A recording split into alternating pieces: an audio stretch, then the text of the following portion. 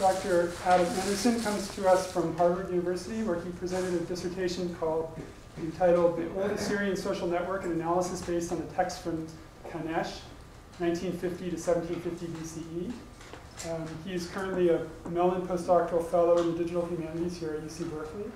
And uh, he's been working on a number of projects related to social networks. And so um, if there's a little time after his talk, then we can do a live demo of, of a related project that he's, also working on. So thank, thank you, Adam. And Thank you. welcome to us. Thank you, Nico. It's exciting to be here. I'm so glad to be able to talk with fellow archaeologists. Uh, I think that most of you will probably be familiar already with a lot of what I'll talk about. Uh, Kultepe Kanesh, it's, it's a, a fairly well-known site nowadays. But uh, I hope to show kind of a process of how we go from uh, some of the most challenging aspects of archaeology, that being unprovenanced artifacts and unknown locations, to more statistical and, and close controlled recontextualizations of, of these um, archaeological data sets. So the primary sources I work with uh, come from one peripheral Bronze Age site known as Kultepe um, in Turkey, which initially yielded more than 5,000 unprovenanced Cappadocian tablets.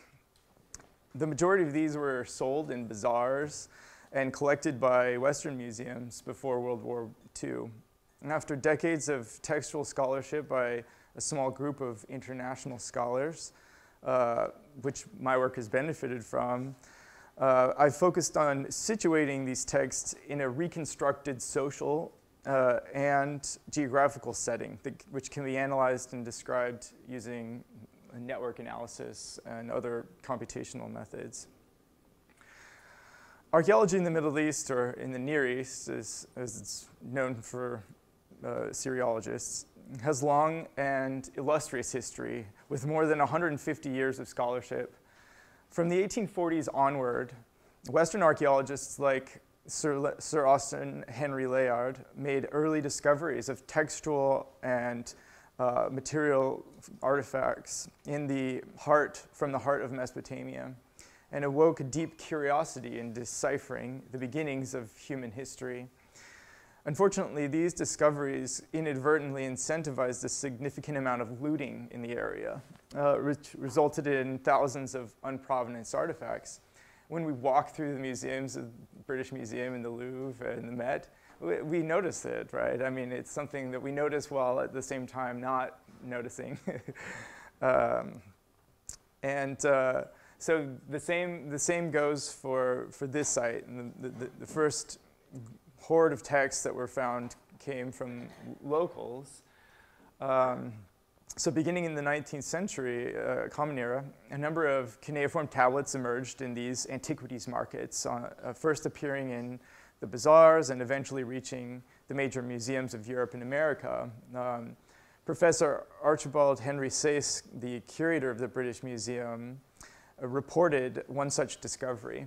He, he wrote, quote, in 1881, Dr. Pinches drew attention to two cuneiform tablets, one in the British Museum and the other in the Louvre, as they were said to come from Kayseri.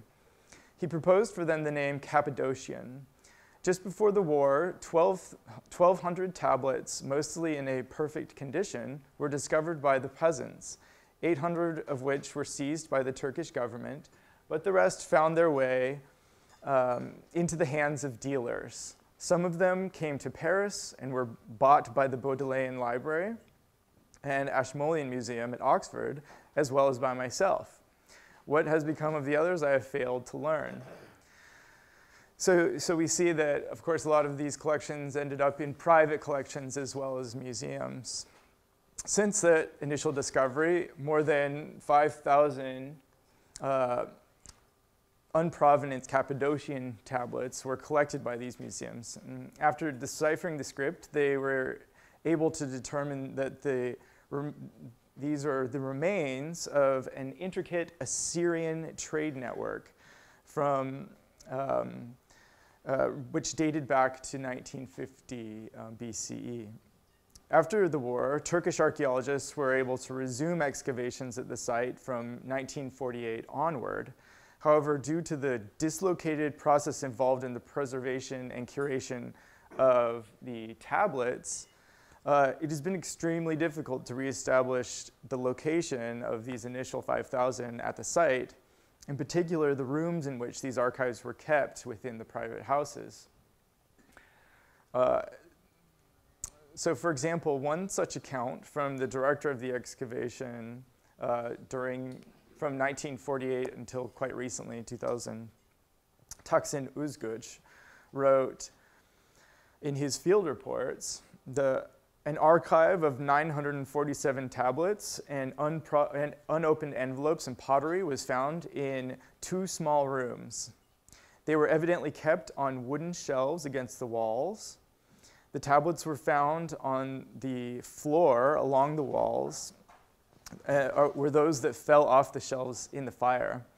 The tablets had been packed in bags, in straw wrappings, and, and sacks were discovered in piles at the middle of the rooms. A group of the tablets, as usual, were kept in pots. Pottery was set along the base of the walls. Uh, next to the hearth uh, were found unbaked tablets, evidently left dry or prepared to be fired. So that's, that's all we have in terms of the real documentation. Nine, a number, 947 tablets from a you know, kind of general area where we know they're excavating from the other artifacts that came at the time.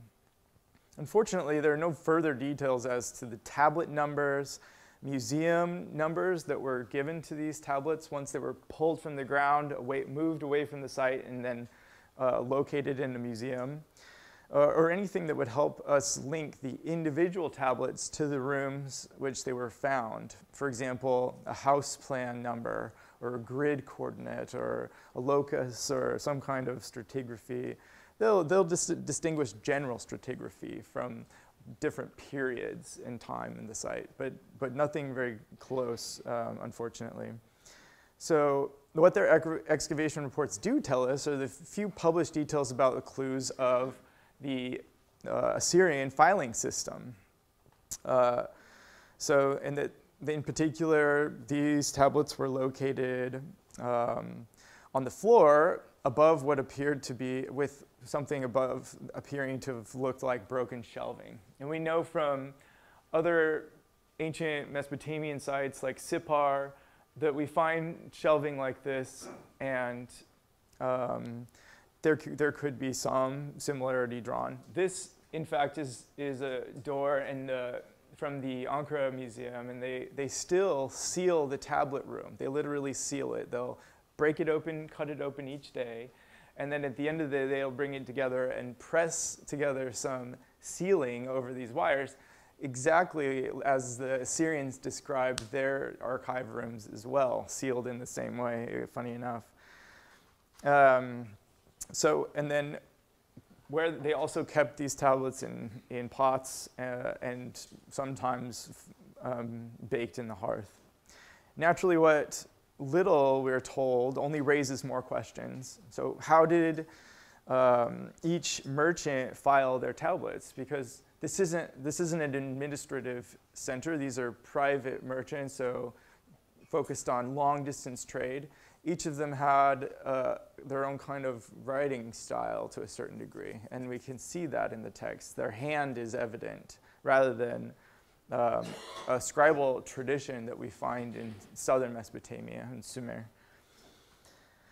Um, and do we see any consistent practices within the colony, either from the Assyrian or Anatolian households? And that's, that's another thing that, we, that this group of texts helps us to understand is um, that it's, it's clear from 1948 onward that the excavations have, ha- and the, the archaeologists have kind of pointed to different types of households uh, that have yielded different types of artifacts. And these types happen to be either Assyrian, which makes up the majority of the site. Sorry, this is blurry, but this is maybe a little clearer.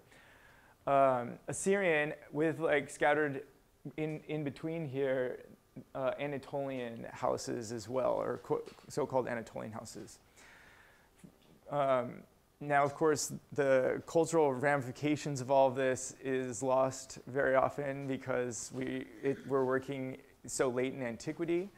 Um, but from the text, we've been able to note that at least going off of naming practices, which isn't a surefire way to distinguish uh, cultural um, or eth- ethnic background, but at least using naming practices, we can identify four distinct Anatolian naming types. So we find Hurrian, Hittite, Hatti, and Luvian names. Uh, and these, these names come in somewhat of like uh, clusters in the site as well, with the large majority being Assyrian names. So with what little I could use from the archaeological side of things, the plans and the field reports, um, I then focused on the relationships between the families as they were recorded in the texts.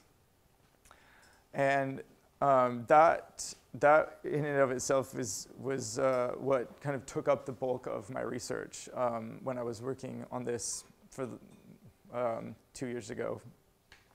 On the basis of close readings, it was clear that the initial 5,000 tablets uh, discovered before Turkish excavations came from one general region, this region at the site of Kultepe.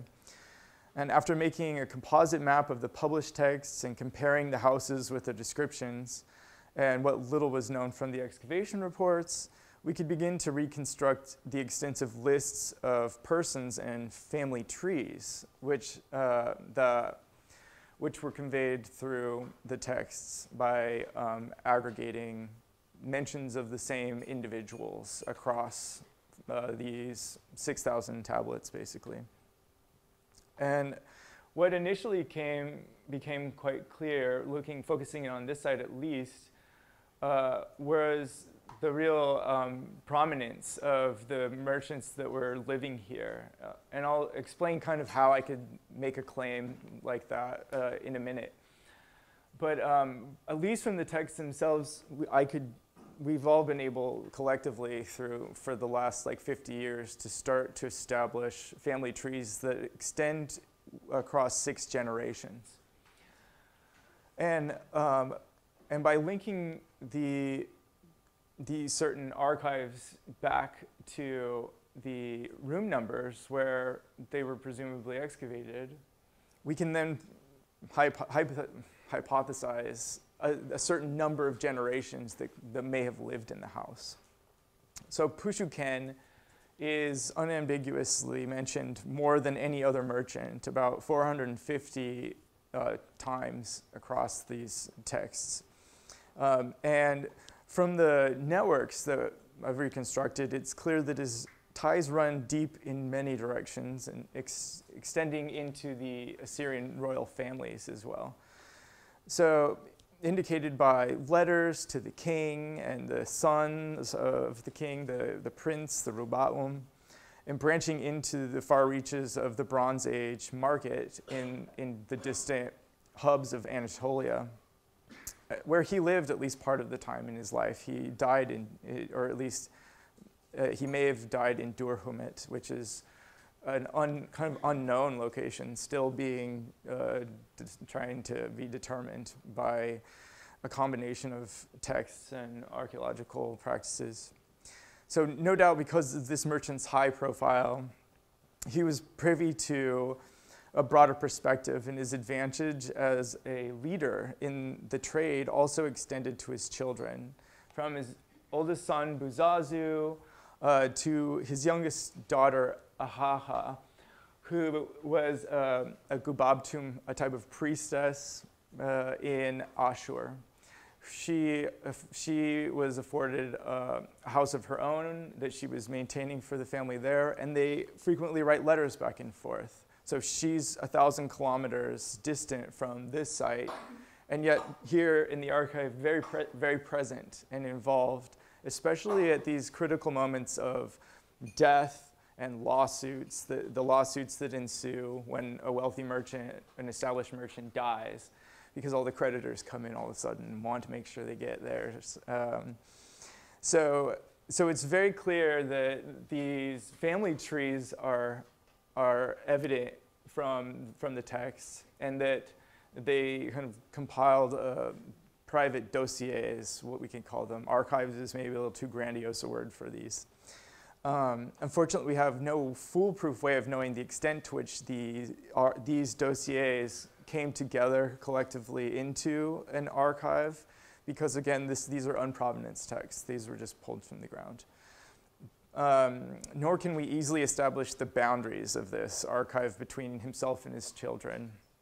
Uh, knowing in particular that his son, Buzazu, uh, had a house of his own um, as well in, a, in another location.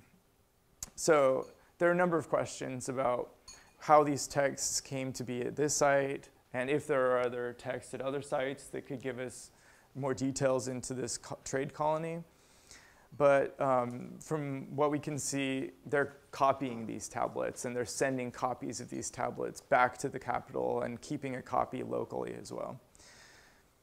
Okay. So that's, that's uh, one major family at the site. And the second is that of Imdi Ilum. So he was clearly a wealthy creditor and kind of the, the cash flow behind um, the network. Um, from, from his family tree, we have he and his daughter who are present in, uh, in very close quarters, what's being called a neighborhood or a block, at least, by the archaeologist. And she, while she was living here, was married, or he was, sorry, he was married to an Assyrian initially who then died, and, that, and she remarried to an Anatolian. Uh, and named their children a combination of Assyrian and Anatolian names. So that starts to give you uh, the, an, an, inkling of the problems we're up against when we're talking about kind of culture, the culture that exists at this site, as evidenced from the text, that it's convoluted. Um, but a, a, number of these, uh, so these are just like a kind of a uh, initial gist of what we can do with some of these family trees and trying to locate them on a plan that's been georectified. So all of this essentially goes into uh, a place where we can hypothesize where some of these people may have lived as well, based on as they're within the text, they're talking about our neighbor so and so, and we'll be able to kind of um, provide some geospatial metadata for each of these nodes in the network. Um, but while at the same time, so it allows us to further establish like more extensive family trees as well as this starts to become relational data that we see together. And um, with this, we can start to get a sense of um, a chronological time span. So in demography, they call these you know, cohorts, and they're able to date the ages of people, or at least how, how long they were active in the network based on these cohort time lifespans.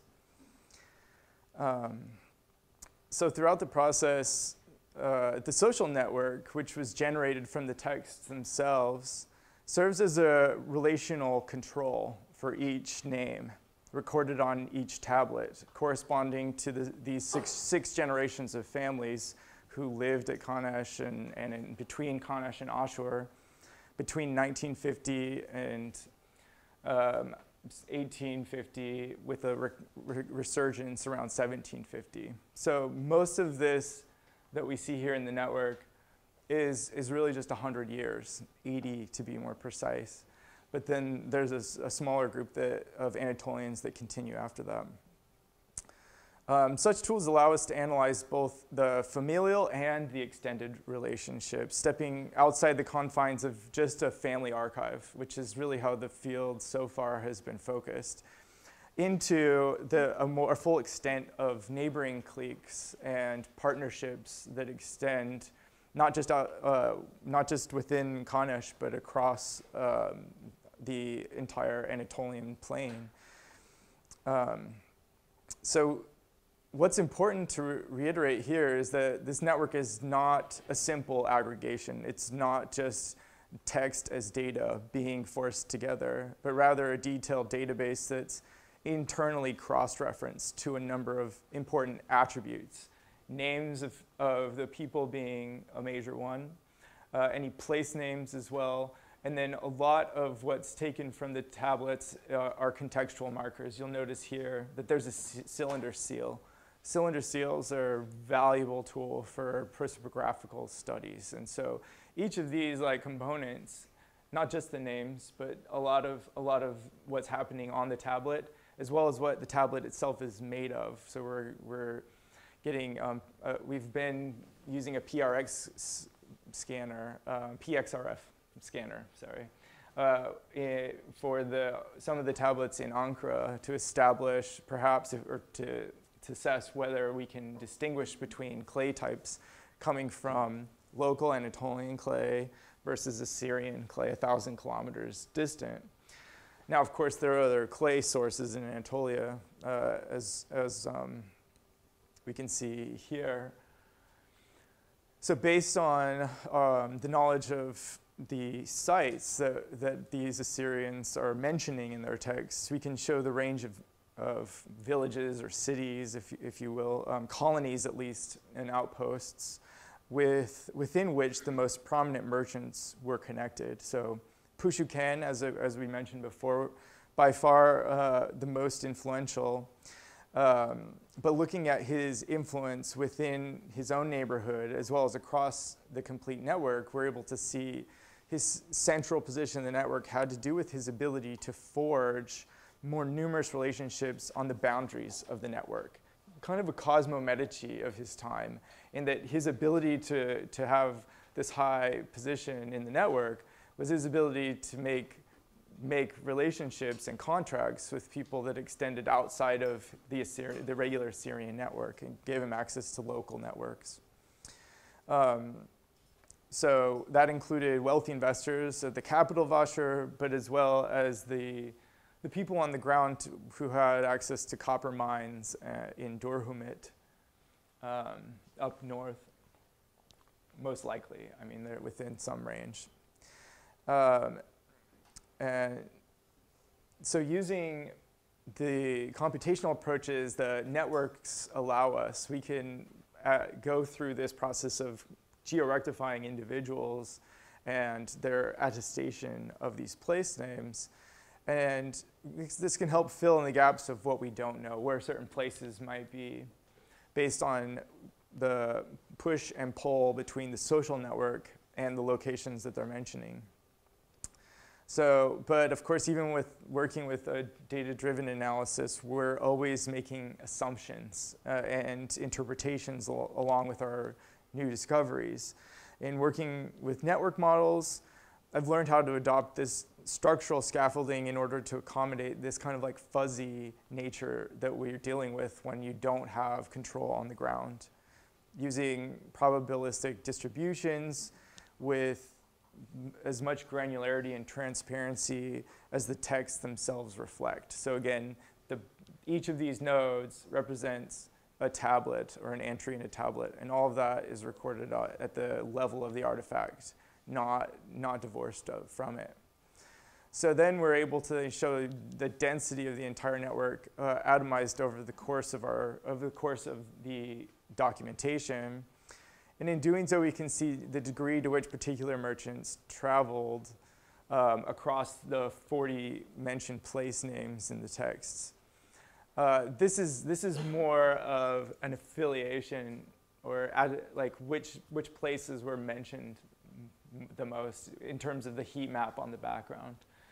Um, not necessarily with like certainty as to where these places are located. So this is ongoing research, of course, with archaeologists that continue to return to these sites in, in a sense to try to find out where, especially Purush Hadum is. It's, it's a still very um, kind of debatable place. But um, that matters less from the text as far as the texts are concerned. there are a certain specific number of times that place has been mentioned. And we can then get a sense of, you know, who's going where when, uh, as well as which places appear to be the hubs of the network in terms of the trade that's occurring there for different reasons, of course. There's bronze refineries here and here, copper mines. Kanesh itself was, a, was kind of the portal to a lot of this, what's called, you know, this kind of, kind of copper circuit at the time. And then uh, Zalpa probably as like an entry point. Ashur here then, and, and with a lot of the other materials coming from presumably Iran, Afghanistan for the tin. And mostly that tin is what's being carried on donkey back over the thousand kilometers to be traded for silver in order to alloy with copper for the Bronze Age. Um, so this can be done then on a large scale as well as a local scale for establishing more proximate provenance. Um, but by fixing these texts that we know came from certain households, uh, we can then probabilistically aggregate those texts with unknown provenance through the social component and other, other mentions of houses and offices and um, contracts, for example, are helpful in that regard using the ties that bind them socially, essentially, uh, to the neighborhoods from which they came.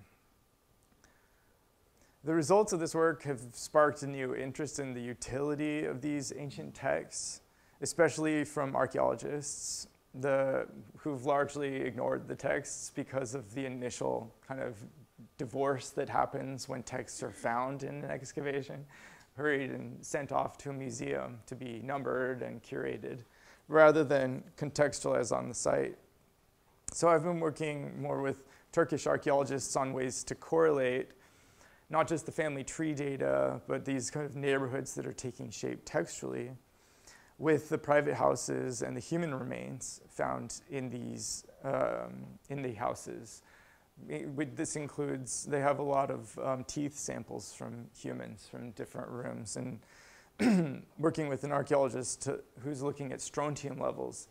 And her theory is that she can see a division between Anatolian and Syrians in the strontium levels. Well, uh, if that's the case, then we, I, I can you know, explain based on who may have been living in the house uh, that she's looking at, whether their names were Assyrian or Anatolian, not actually anything that the strontium level would dictate necessarily because uh, as, as you saw in some of these family trees, they were intermarrying. and so that, that's, it's an interesting question at least though, and one that, that piques the curiosity of archaeologists to say, but can, can a data set from the texts inform uh, a method that we're using right now to try to establish who lived in the house? Um, okay.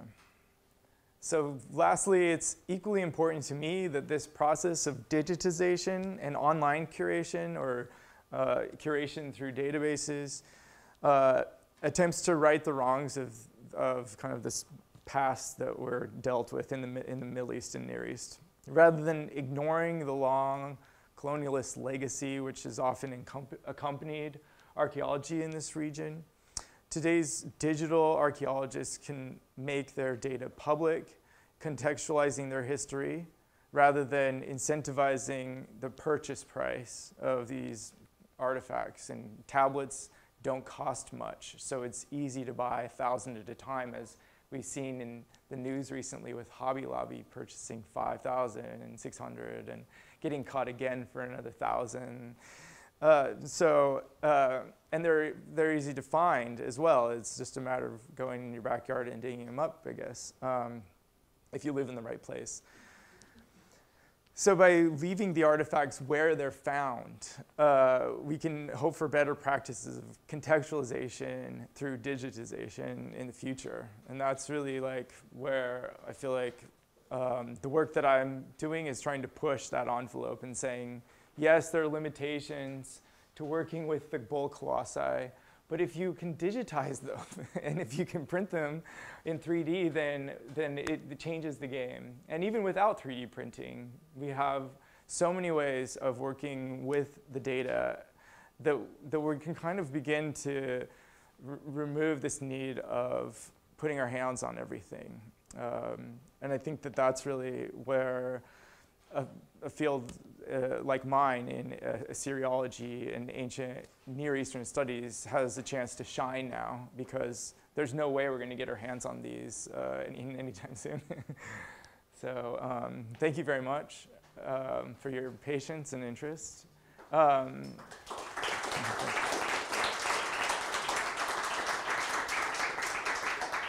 I'm happy to take questions, but I can, I'm also happy to kind of demo the network software a little bit more. I imagine that that's maybe where interests lie, less so in like my Google Earth renditions of these houses, more so in the network analysis and maybe the statistical components of that. Because that's been highly useful in this work, the, using the statistical, statistical measurements of the network to determine you know, who's who in the network and then why they're there. Um, but I'm, I'm also happy to take questions. Um, we have about 20 minutes, so maybe we could do a demo and then. Okay, cool. Perfect.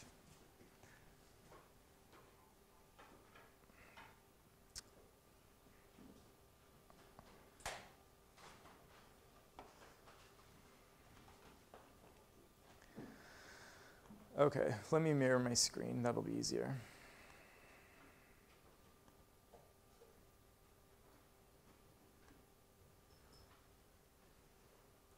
Did it do it?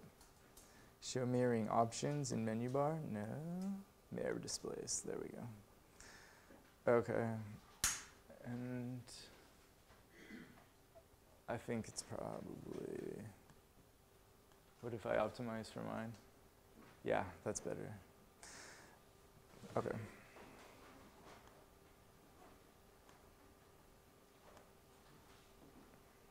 Uh, I didn't tell it to close.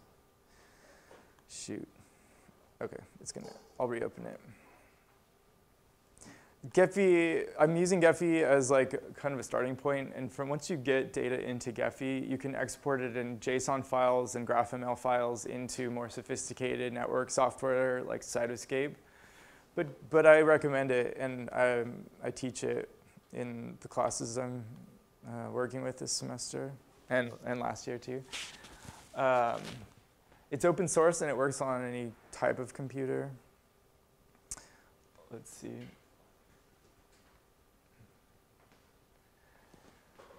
So I have four different networks here. Um, I'll start actually with, uh, with one that we've been working on, and unfortunately, the visuals are not that great.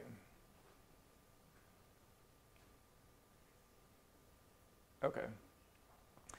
So within, within Gephi, you have this nice front-end visualization tool that's like, you know, useful if you're, if you're getting down into the details and you want to know exactly what one of these nodes is. So you click on it, and then it gives you the, the data that you've encoded into the model. But if what you're, I mean, if where you live on, on a day-to-day -day basis, um, it's usually in the data table itself, and you're, you're giving attributes to the text that you're working with, let's say. So each of these are um, individuals mentioned in text. We have, we have we assign an ID to a particular person, and we note, in this case, the, the, the two numbers that correspond to the text. Now, this is work that Niek Veldhuis and I have been working on this semester with the URAP team. So all this data is coming from ORACC, the online corpus of cuneiform uh, literature and texts. Um, so it, we're starting off with texts that have been lemmatized, which, is, which allows us to do something really cool, which is for each individual, we can say what their role is in the text in really like simplistic terms. These texts are Ur-3 texts, so from they date from 2100 to 2004 BC, about 50 to 100 years before the old, old Assyrian texts, um, or the old Assyrian kind of texts were written. Um, and so there's really just like a 50 year gap between these two, which made it a really interesting data set for me to work on subsequently. Um, so with, within, so aside from what we can pull from the texts themselves, including the role, and if there's a profession that's mentioned, that, you know, the different texts that, this, that these people are mentioned in, and then the years that, that are joined when we join texts together, you notice that there are a couple of other um, statistical measurements that were generated called authority, hub, um, and eigenvector centrality. There are a number of others. Uh, these are like eigenvalues. Eigenvalues are essentially the yin and the yang of the network. So if you think about a social network, uh, you have people that you point to, like say, let's say people that you tend to write emails to, and you have people who tend to write emails to you. So there's a, there's a directionality that occurs within every network. Uh, and this directionality is really valuable for telling us who's who in the network. So if I'm the type of person who only, who only rarely writes an email, but I receive emails constantly, you know, then I would be someone who's considered in the know. In the know is, is equivalent to the um, hub. Uh, so, um, and, in, and then the inverse of that would be an authority, someone writing and telling people do this and that. Uh, eigenvector centrality has to do with the quote unquote leader. So it's a leader metric. It's, it's someone who doesn't necessarily have a lot of ties or relationships to other people, maybe fewer relationships to others, but those relationships that they do have are with people who have very many relationships to others if you think of like the CEO around a table, is the he has he can he talks to maybe seven people, but those seven people are talking each to like hundreds of people probably. So that's that that CEO would have a very high eigenvector. So, so these are statistics that can be measured um, very easily within this setting. Once you've given the, the properties of the network based on these types of the yin and the yang, the pull, the push and the pull, Rece- who's receiving something, who is sending something, or who is the source of something being sent. All of that was documented on these texts. And just those three categories, who's receiving, who's sending, and who's the source, will tell us immediately uh, a lot about the um, statistics of the network. So you can come in and, you know, like run run these it's, it's just a run button. Average clustering coefficient, eigenvector centrality, which, you know, of course, is dangerous for someone who doesn't actually know what these algorithms do. But the nice thing is, is that it's contextualized right here in, your, in front of you. And then you can come to this place in the appearance and look at, let's say, in the appearance tab, we'll look at the size. Let's make the size based on the rank of, of um, eigenvector, eigenvector centrality, with the minimum being 10 and the maximum, let's make it 50. And then the, the network changes its property, and you can begin to see. So let's do that same thing for color now, and choose the same measurement.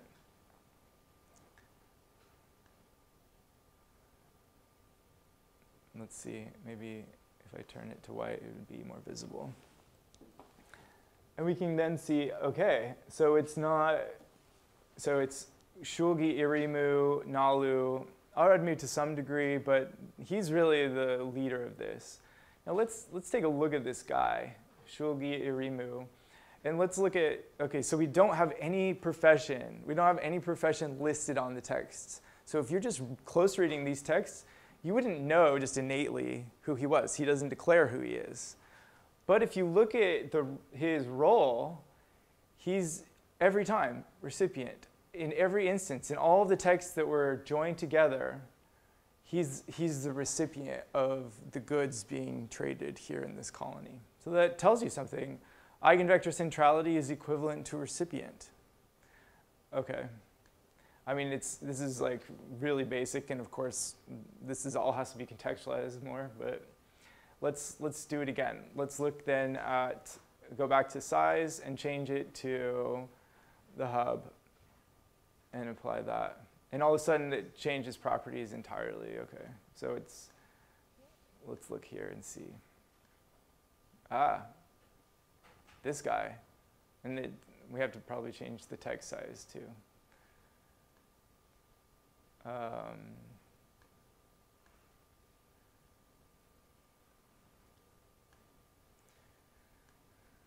okay, and now it looks like a totally different network.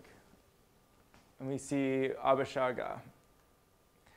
Abishaga's profession, again, he doesn't list anything, but the role that he occupies, again, almost every time, except with a few recipients, he's the source. He's the source of these things.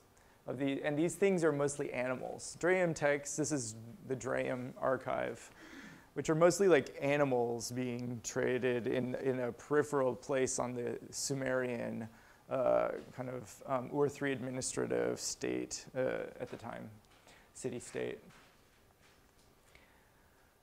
Um, so the nice thing is that you can then go in and textually understand why he's the hub. What is this statistic actually telling me, but contextualizing it by the texts? That, that's really helpful because otherwise, how do you teach eigenvector centrality? Well, you do it through linear algebra, you know, but who's, who's going to take a class on linear algebra to learn what eigenvector centrality is? I mean, I don't see any hands popping up.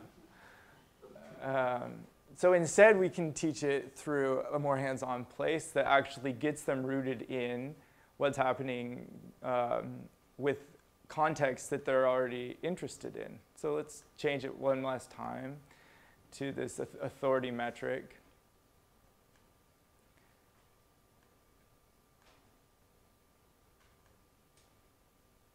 And we see again the network changes entirely. It's now we're looking at Aradmu. With Shulgi Irimu, who is the leader, being, being like a prominent node, but no, not nowhere near as much as Aradmu. And here again, no profession. So these are people who are just assumed, they're, they're just assumed that they're leaders because they don't have to put their title down. Uh, and, and the texts are pretty clear that they have these places. And then we look, and in almost every instance, he's the represent, he's the via, via. So something's taken by this guy to, from the source to the recipient. And he's the representative. Um, now, this is, it's, it's pretty cool to um, have this kind of control over 15,000 Sumerian tablets. Like this is the aggregation of the tablets. And, and then to be able to jump into the back and say, okay, well, which texts are we talking about here? And then, you know, to like click on it and drop this into the online data, database. I mean, it's, it's immediate, and you can be working with the texts at the same time very easily. And all this is open source, and it, it works just by importing spreadsheets, you know. So, so there's not a huge hurdle to, to, to enter into this realm if, if you dare, right? Because it's always about the, the trick of it isn't necessarily what we're looking at now. This is what's called the nodes list. This is the data that each node uh, carries with it and the metadata. The, the trick of it, of course, is the edges. Network analysis measures relationships, not just data points like most, of, most databases, but the relationship between data points. And so we're, we're going, we're assign each node uh, an ID, and that ID is used as either a source or a target. And that's, that's the explicit relationship. It's directed, and then that edge is given an ID, and it's given a weight. That's the important part. That gives it that kind of structural push and pull in the network. Uh, and then here we, we also provide the years that were, are tested for this edge and the text in some cases. so that's that's one example, and I think like a, a, real prime example, one that we worked on recently. There's of course others. This is the old Assyrian network. Um, it's it's still being disambiguated like by by hand it, eh, because there's so much papponymy uh, within this text. So there's so many people using the same name over the six generations, and that we have a grandfather who who will name a grandchild his name before he dies, or maybe as he dies, the parents name him that. And it's, it's mostly, it mostly happens through the male line, but there are a few examples of females named after their grandfathers, and, and then you get papponymy happening across genders. Um, the cool thing when running the statistics here in comparison is that instead of the source and the authority and the hub being three separate people, they collapse. Two of them collapse uh, under Pushuken and Imdi Ilum, these two people that I talked about earlier in their family trees, one being the wealthy creditor, the other one being the main center of trade. So it gives us a way now of like comparing networks that we've never dared ever do before, comparing Sumerian Ur 3 administrative network with this long distance trade network in Ashur. Well, that's risky business but at least in this way, we can do it from a kind of sound methodology that's been laid forth while still questioning assumptions and interpretations all the while. But it's a structural scaffolding that allows us to kind of see, can we follow this? Can we equate an apple and an orange? You know, what properties do they have similar? Well, their statistic properties are kind of, it's there. Either, you know, they're connected or they're not connected. That's binary. I mean, you can apply a weight to it, but this gives us a way to compare something the, the context of which is, is huge, 22,000 nodes versus Drehem's, you know, 1,000. Uh, then, you know, jumping into, say, Ebla and the Ebla archive that has been reconstructed. And the different shapes that this is taking has to do with the text typologies. This is uh, focused more on the, the texts themselves, textiles, um, and pot, uh, pots and pans and utensils and the different. So there's there's a kind of this like yeah like a leveling effect that takes place because you do have to atomize it all, but because it all takes place um, within the the nodes list and edge list in the background there's there's no like distance between you and your data at any point. Like you get to be the one who's curating it on the back end and playing with it and coloring it on on the front end. Um, so that that's really I think a helpful tool, especially since a lot of archaeology is done, uh, you know, in the privacy of your own office.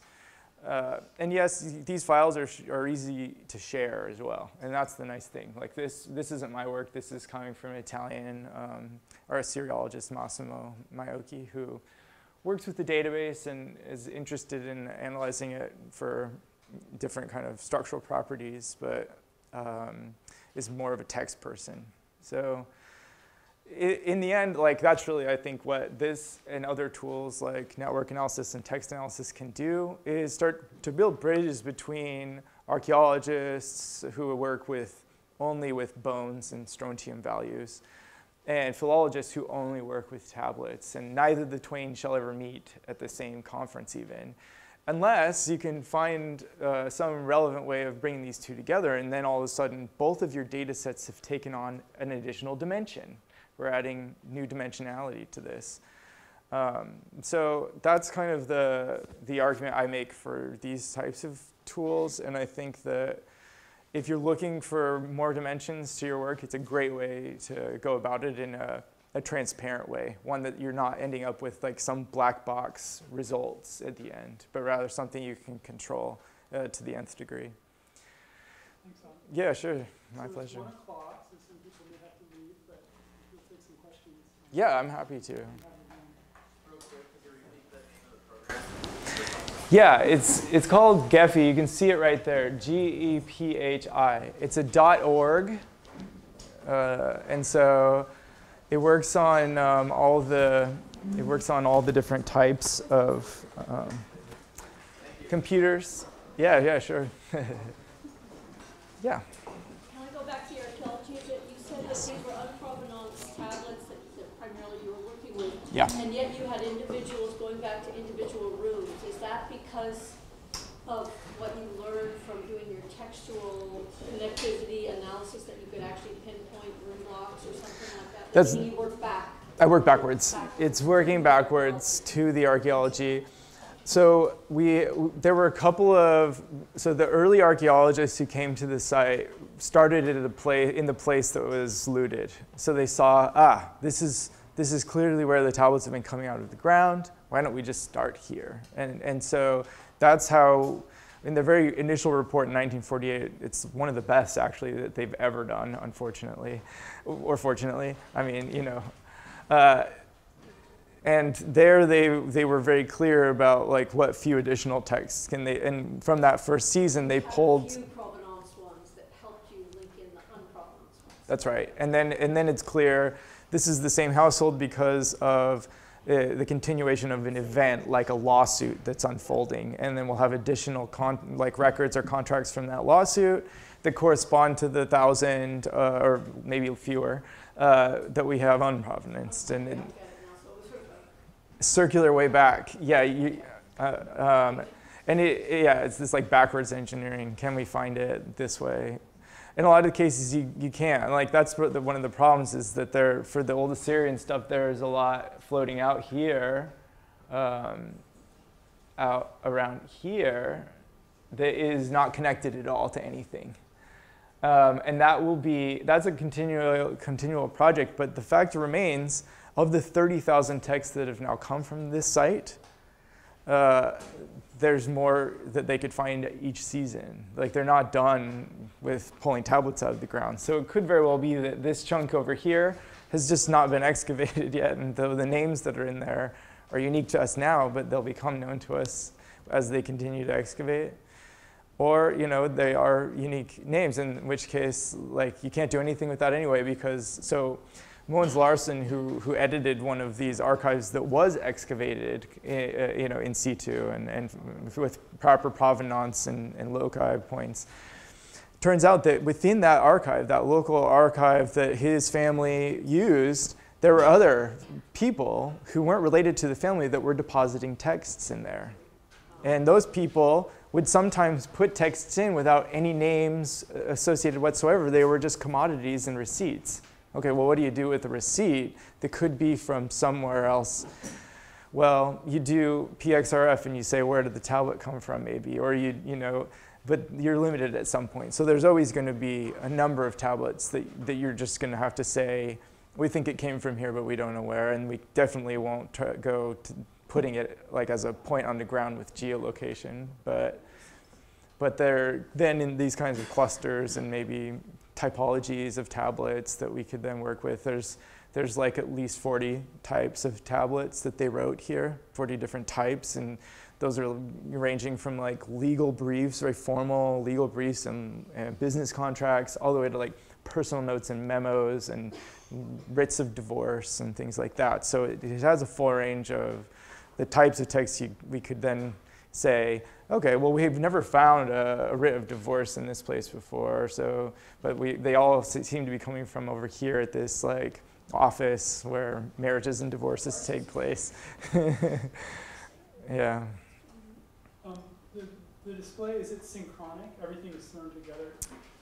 There, there it way to- move through time? Because you did have a temporal breakdown. That, that's right. Yeah, yeah. It's a really good point. Um, so within here, um, I and especially for the the Drehem texts, what we're working on. So we just started doing this network, and and the nice thing about the texts from Drehem, these 15,000 texts that we have from from, from Drehem in southern Mesopotamia, Sumerian tablets, is that each one is has a date on it. So every tablet is dated, uh, and sometimes to the day and the month and the week and the year, you know? So you get all four in one and you're like, perfect, you know, I know just when it happened. Uh, so there is a way to do time sequence, uh, and there, there are simple ways and there are complex ways. The, one, one of them will, will be like kind of a Boolean form in that you say like based on which year it displays certain uh, parts of the network. Um, now it's it's always like incredibly easy to just you know create a new network, copy to new workspace, and there I've just I've just sent this subset that I just randomly selected to a new place, and now it's a subset of the network. So it's very easy from the huge kind of starting from everything together to then just piece off, no, I just want a year of it. Let me just take this year, let me control for that because maybe I want plus or minus five days. Uh, and then I, I can make a network that way as well. So, so there's a lot of variability in terms of like what you see, uh, if that's like how you're working with the network in the visual here. Um, or you can just simply work with it in the data aspect of it behind the scenes and like make your subsets there. But um, the nice thing is that there are a lot of plugins for Gephi, and these are constantly being updated because it's open source software. So there's a lot of development going on for this tool. And you can go through and see that they have um, you know, good documentation for each of these plugins here uh, that allows you to look at um, scale parts of the graph with a scale factor, minimum spanning tree, calculate minimum spanning trees. Um, you have, um, let's see, the ones that I think were from time I already installed. Let me see here.